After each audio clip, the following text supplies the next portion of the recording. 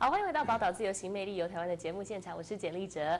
那么其实呢，说到装潢哦，线条、色调的不同，都会带给整个环境氛围很大的差别。所以很多人都会把室内空间设计当做展现个人生活品味的一个平台。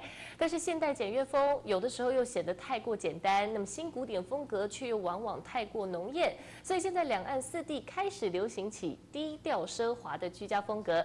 不过什么是低调奢华风呢？那么低调奢华风跟简约还有古典风又有什么不同？我们今天很荣幸请到台湾知名的平台幸福空间的设计师来跟我们分享。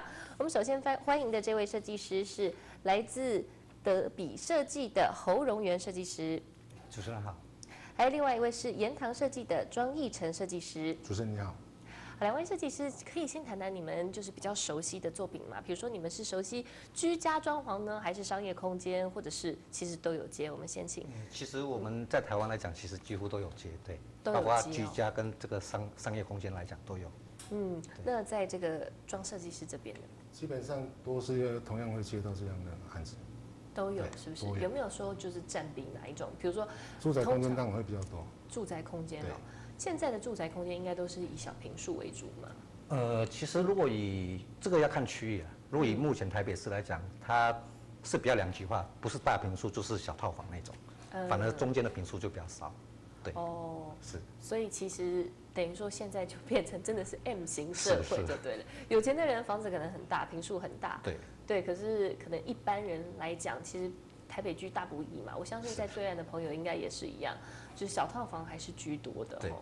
那在装潢这个，嗯，因为现在我们强调风格，就是大家可能可能两岸的民众喜欢的风格不太一样，也许对岸的民众可能会比较喜欢古典风，因为像是上海这些沿岸地区，其实受殖民地的影响很大哦，所以他们在装潢方面都喜欢做一些可能有英式色彩的，有一些巴洛克风格的。是。那么在台湾这边的民众一般喜欢的是什么样的风格呢？嗯，以我个人的经验来讲哈，台湾如果是以比较大众化的市场来讲，还是比较这个偏向简约的一个风格。简约。对对对，嗯不过这个就像我们刚刚讲，可能会因为平数的不同而喜好会有不同。哦。对，有没有说，比如说小平数比较适合做什么这样？小平数来讲的话，如果以一个纯粹就是一个外观的一个表现来讲的话，还是会建议不要一个简约的风格，就不适合做这个太繁复的一个做法。那至于大平数来讲的话，可能就要依据这个屋主他的喜好，不管是新古典啊各种风格，我觉得都可以表现得出来。所以大平数反而是好展现，就像有是大画布一样。对，嗯，那这个我们侯设计师呃装设计师呢？抱歉。呃，基本上空间的大小哦，它能代表的所谓的设计的美感跟质感是不一样的。我们要注重它的比例，所以说大平数也有做简约的，那小平数你说要去做新古典的，也大有人在。但基本以专业的素养来看，以手法的处理上，当然是希望大平数的然后用新古典比较耐看，那小平数用简约的方式来处理，它也比较能实用一点。对，哦，所以小平数您是比较推荐用简约的方式来简。约的方式对。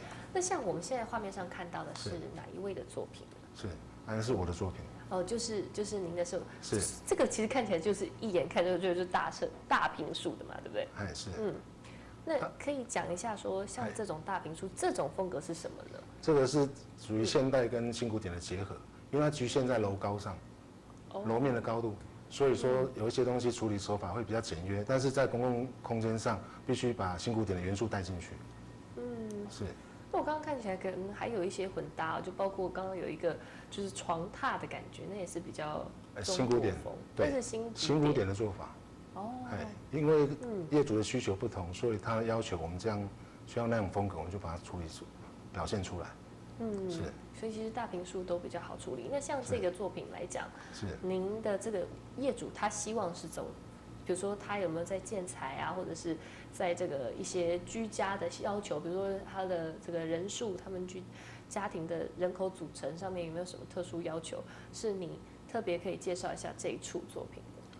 这个部分，我们基本跟业主在沟通的时候，他的需求人人数的多寡、年纪，比如他小孩子的年龄，我们会设计到五到能让他居住五到十年的空间，让他有储存。然后基本的动线跟规划储藏量的部分，也是跟业主要去讨论的，所以才能在一个空间把平面动线规划的好，储藏量也够。对，那在建厂上建材上是我们会先提供跟业主讨论，嗯，根据我们的专业让他觉得这个所有所有的建材怎么样能表现这个空间的美，让他知道，然后他如果同意，我们就这样去去表现出来。嗯，对。好，那我们再来看看这个侯设计师的作品。诶，这个侯设计师的作品，刚刚我们在画面上其实有扫到一下，就是刚刚我们看到的那个作品，大概它的就是背景条件是什么样子？刚刚我们看到的那个来讲，它其实是一个台商的一个住家，所以是在对岸？呃，没有，他是在台湾，是在台湾，台湾的新北市，对。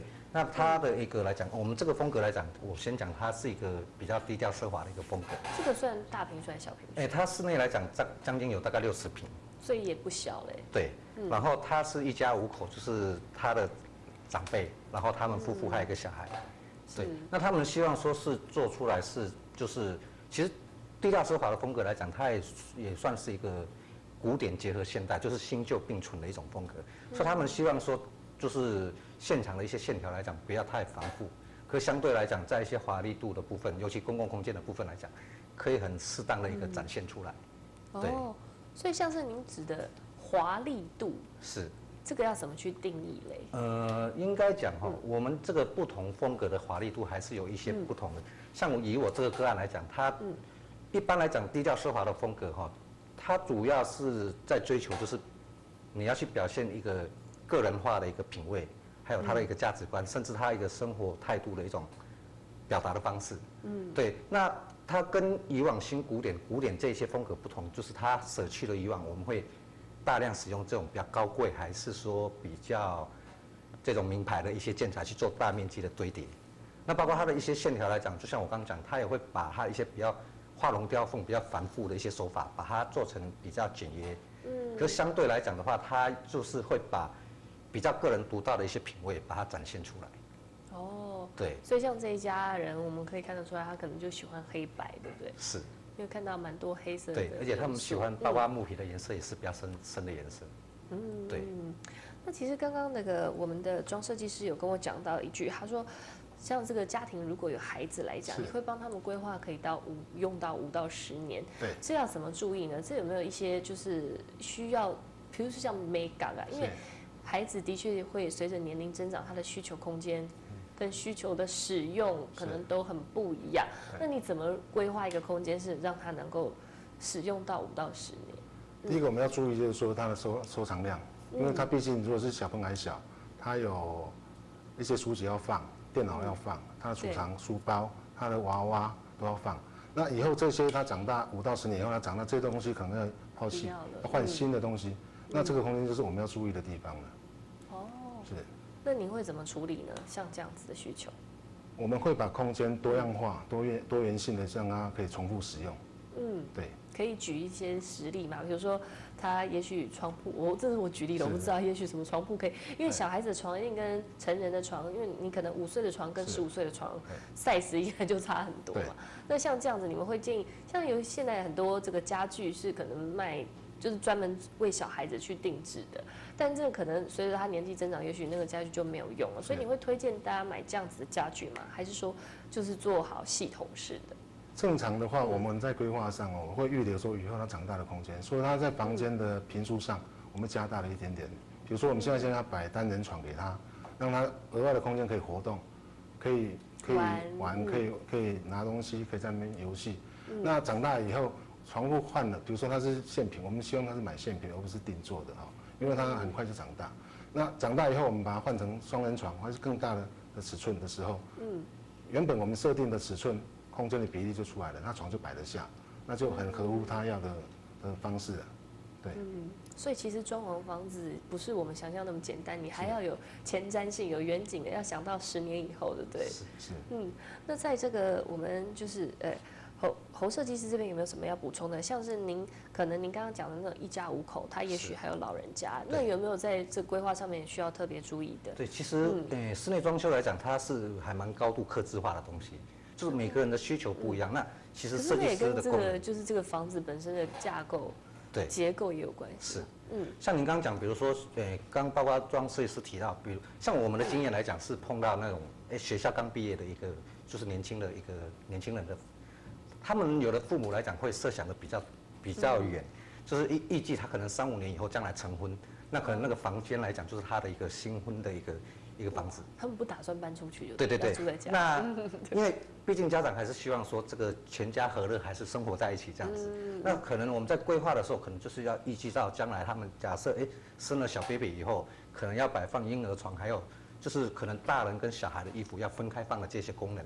所以包括您刚提到说有一些高度科技化的东西，像我们也往往碰到很多的家长，他要设计小孩房的时候，他可能要想法比较梦幻，可能女孩子来讲，她很她希望走的是那种很粉色系。主风对对对那嗯那种来讲，我们会根据我们以往的经验，会跟他讲说，哎，这个东西或许他现在是念国小还是念国中，这个东西目前来讲很适合他。